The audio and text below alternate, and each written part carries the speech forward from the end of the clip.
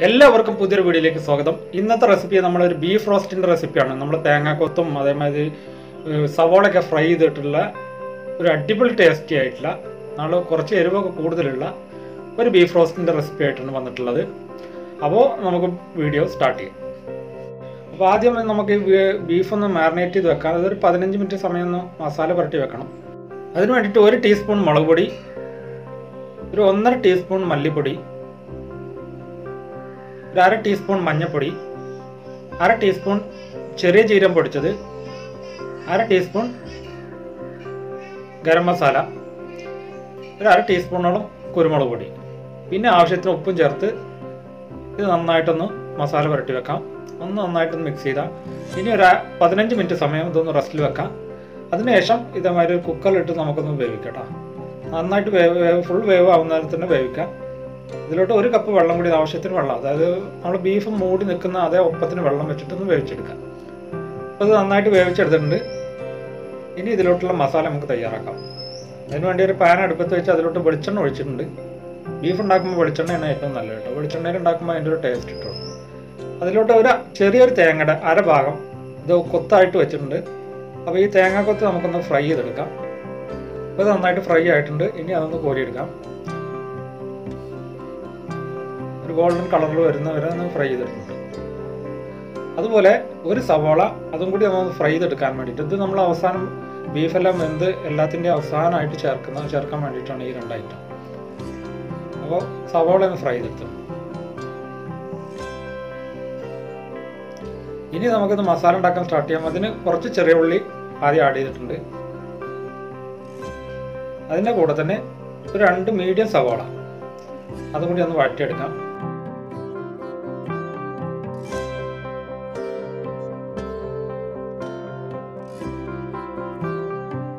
ഇനി ഇതിലോട്ട് അത് നന്നായിട്ട് വഴണ്ട് വരാൻ വേണ്ടി തന്നെ നമ്മൾ ആദ്യം ഉപ്പ് ആഡ് ചെയ്തിട്ടുണ്ട്.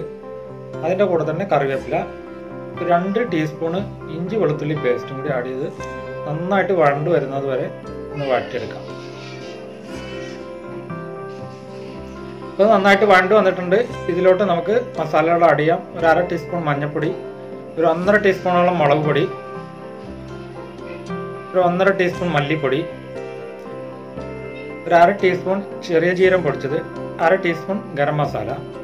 ഇതെല്ലാം കൂടി ചേർത്ത് നന്നായിട്ടൊന്ന് ഈ മസാലയുടെ ഒരു പച്ചമണം ഉണ്ട്. അത് മാറി വരുന്നത് വരെയൊക്കെ ഒന്ന് വഴറ്റിയെടുക്കാം.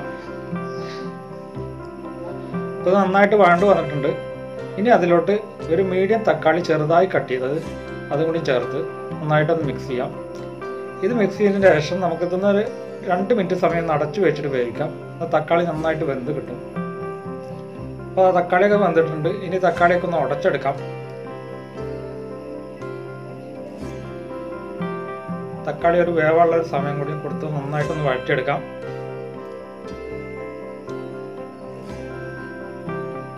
തക്കാളിക്ക് നന്നായിട്ട് വഴണ്ടു വന്നിട്ടുണ്ട്.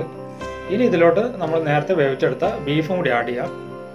ബീഫ് ആ വെള്ളം കൂടിയിട്ട് വെള്ളത്തോടുക്കനെ നമുക്ക് ഇതിലോട്ട് ആഡ് ചെയ്യാം. അതിന് ശേഷത്ത് നന്നായിട്ടൊന്ന് മിക്സ് ചെയ്യാം. മിക്സ് ചെയ്തതിന്റെ ശേഷത്ത് നമ്മൾ ഇത് തുറന്ന് വെച്ചിട്ട് തന്നെ വേവിക്കണം തുറന്ന് വെച്ച് ഒരു പത്ത് മിനിറ്റ് സമയത്ത് വേവിക്കുമ്പോൾ തന്നെ ഇതിലത്തെ വെള്ളമൊക്കെ നന്നായിട്ട് വറ്റി വരും. അടച്ചു വെച്ച് വേവിച്ചാൽ വെള്ളം പറ്റില്ല തുറന്ന് വെച്ചിട്ട് വേവിക്കാം. ഒരു പത്ത് മിനിറ്റ് മതി. ഒരു പത്ത് മിനിറ്റ് സമയമായപ്പോൾ തന്നെ നന്നായിട്ട് വെള്ളമൊക്കെ വറ്റിയിട്ടുണ്ട്. കണ്ടോ? നല്ല ഡ്രൈ ആയി വന്നിട്ടുണ്ട്. ഇനി ഇതിലോട്ട് ഒരു നാല് പച്ചമുളക് കീറാതെ തന്നെ അതുപോലെ തന്നെ ഇട്ടിട്ടുണ്ട്. ഒരു അര ടീസ്പൂൺ ഗരം മസാലയും കൂടി അതിന്റെ മുകളിലോട്ട് സ്പ്രെഡ് ചെയ്ത് നന്നായിട്ടൊന്ന് മിക്സ് ചെയ്യാം.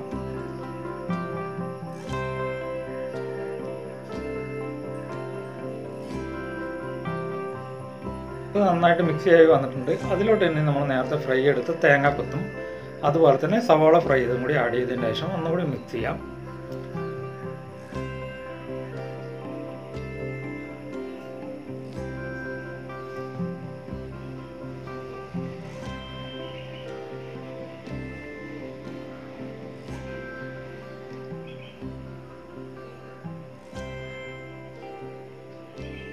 സവാളയും തേങ്ങാക്കൊത്തൊക്കെ ബീഫിന്റെ എല്ലാ സൈഡിലോട്ടും നന്നായിട്ട് മിക്സ് ചെയ്ത് എത്തിയിട്ടുണ്ട്. ഇനി അതിലോട്ട് കുറച്ച് പച്ച വെളിച്ചെണ്ണ ഒഴിക്കാം. ഈ പച്ച വെളിച്ചെണ്ണയും കൂടി ഒഴിച്ച് നമുക്കിതിന്റെ തീ നമുക്കത് ഓഫ് ചെയ്യാം. പച്ച വെളിച്ചെണ്ണ ഒഴിച്ചതിന്റെ ശേഷം നമുക്കൊരു പത്ത് മിനിറ്റ് സമയം ഇത് അടച്ചു വെച്ചിട്ട് തന്നെ വേവിക്കൊന്നും വേണ്ട. ഗ്യാസ് ഓഫ് ചെയ്തതിന് ശേഷം നമുക്കത് അടച്ചു വെക്കാം. അതിന്റെ ശേഷം നമുക്ക് സെർവ് ചെയ്യാം. അപ്പോൾ ഒരു പ്രത്യേക ഒരു സ്മെല്ലും ബീഫിനും വളരെ ടേസ്റ്റാണ് അവസാനം നമ്മൾ പച്ച വെളിച്ചെണ്ണ ഒഴിക്കുമ്പോൾ ഇനി കുറച്ച് കറിവേപ്പിലയും ഇട്ടതിന് ശേഷം നമുക്കിതൊന്ന് അടച്ചു വെക്കാം.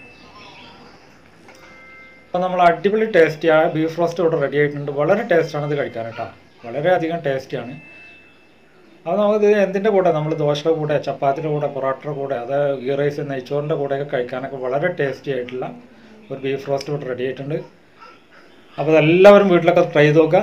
അപ്പോൾ നിങ്ങൾക്ക് ഈ വീഡിയോ ഇഷ്ടപ്പെട്ടെന്ന് കരുതുന്നു. വീഡിയോ ഇഷ്ടപ്പെട്ട് കഴിഞ്ഞാൽ വീഡിയോയ്ക്ക് താഴെ പോയിട്ട് വീഡിയോ ഒന്ന് ലൈക്ക് ചെയ്യുക ഷെയർ ചെയ്യുക. അതുപോലെ തന്നെ ഈ ചാനൽ ഒന്ന് സബ്സ്ക്രൈബ് ചെയ്യുക. അപ്പോൾ ഓക്കെ ഇതുപോലത്തെ ഒരു അടിപൊളി റെസിപ്പിയുമായി അടുത്ത വീഡിയോയിൽ കാണുമ്പോഴേക്കും ബൈ ബൈ